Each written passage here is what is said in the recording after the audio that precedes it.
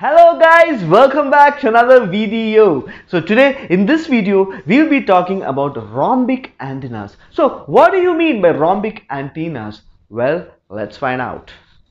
So here, just like the name suggests rhombic antenna, a rhombic antenna is having the shape of a rhombus. A rhombus is a two-dimensional shape which has got four equal sides, just like a diamond. So, so here, in the case of rhombic antenna, this is how a rhombic antenna looks like.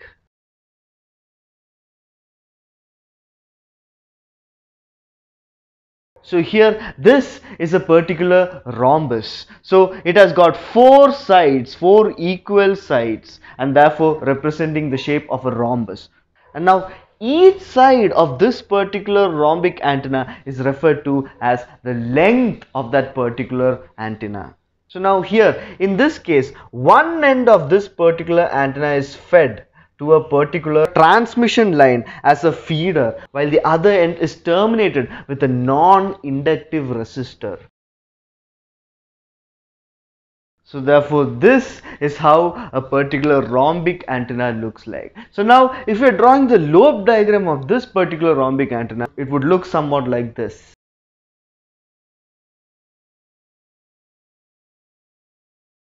It would have a major lobe in this direction and certain side lobes or minor lobes in the direction in which it is not intended to propagate. That is in the other direction. So therefore from this we can observe that this particular rhombic antenna has got a direction of propagation in this particular direction. So the line joining the feed point and this particular resistance value this particular line is referred to as the axis of this particular rhombic antenna.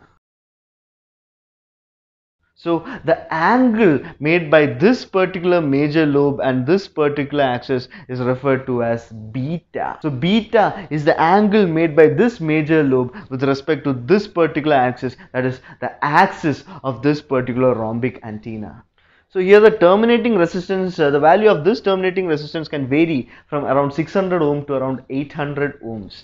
So therefore this thus gives you a brief introduction as in how a rhombic antenna looks like and the basic concepts behind a rhombic antenna. So here in the case of rhombic antenna it is a very slow traveling wave radiator. So here it is in the shape of a rhombus. So that is four long wires connected in the form of a diamond or a rhombus structure in the horizontal plane above the ground. So here one end of the antenna is fed through a balanced transmission line as a particular feeder while the other end is terminated with a non-inductive resistor. The angle made by the main lobe and the particular axis is referred to as beta. This type of antenna it is used for wide frequency band and the terminating resistor can vary from 600 to 800 ohms. So here the design equations can be written like this. H is equal to lambda by 4 sine beta where beta is the angle made by the main lobe with the axis and L is equal to lambda by 2 sine squared beta and phi is equal to 90 minus beta. This thus sums up what you mean by a rhombic antenna. I hope you guys now have a brief and clear idea as in what rhombic antennas are and how the structure of a particular rhombic antenna looks like. So we'll be discussing much more about the further topics in this module in the upcoming videos. So stay tuned and I'll see you guys in the next video. Thank you.